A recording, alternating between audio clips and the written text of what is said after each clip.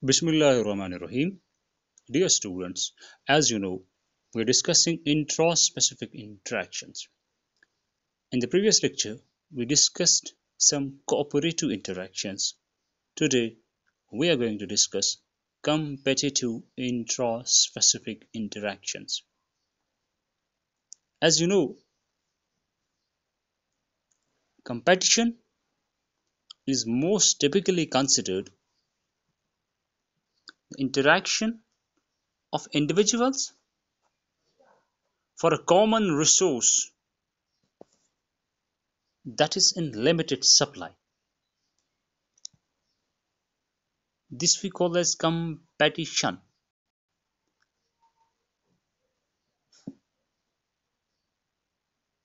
Or we can say the competitive interactions may be more generally defined as the direct or indirect interactions of organisms that lead to a change in fitness the organisms share the same resource. एक ही resource जो limited supply में हो इसके लिए competition होता है हमने जब नेगेटिव इंटरेक्शंस पढ़ा था हमने वहाँ कंपेटिशन इन डिटेल पढ़ा वहां भी हमने देखा कंपेटिशन में the weaker competitor that is negatively affected Usually, there are three major types of competition. One is interference competition, second one is exploitative competition, and third one is apparent competition. If we talk about interference competition,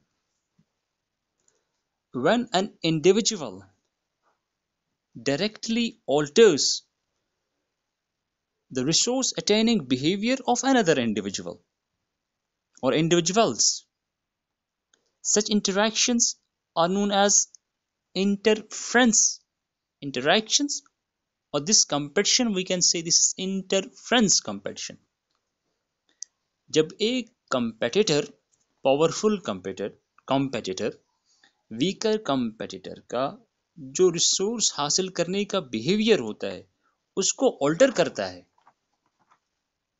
मिसाल के तौर पर the male gorilla it has been seen male gorilla prohibits other males, rather weaker males, from accessing a mate for reproduction.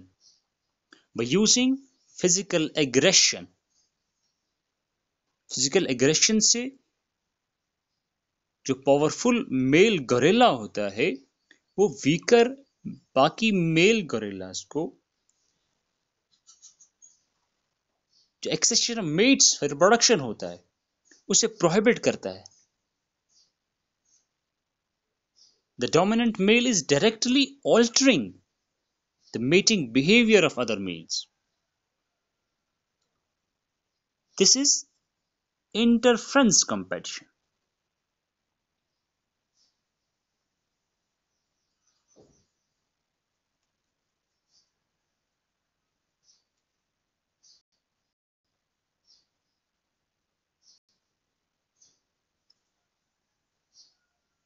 Second one is exploitative competition. It occurs when individuals interact indirectly as they compete for a common resource like territory or food.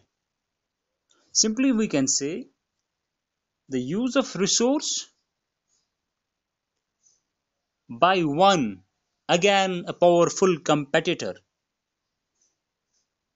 or powerful individual. This will decrease the amount of resource available for other individuals.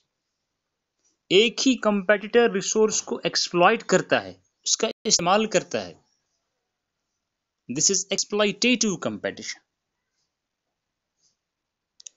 चाहे exploitation से, चाहे interference competition से over time हमने देखा last time भी, जब हमने competition का लेक्चर इन डिटेल पढ़ा था हमने उसमें कि जो सुपीरियर कंपेटिटर होता है that can eliminate an inferior one from the area जिसको हमने वहाँ नाम दिया कंपेटेटिव एक्सक्लूजन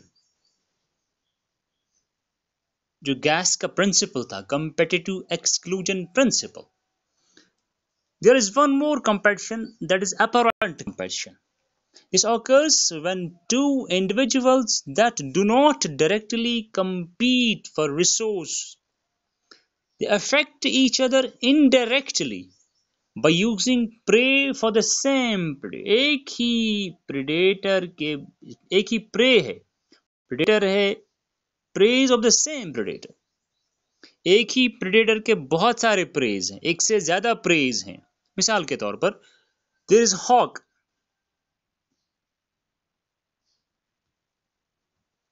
जो हॉक होता है it preys for example both on squirrels and mice ये गिलहरी भी खाता है, ये चूहा भी खाता है।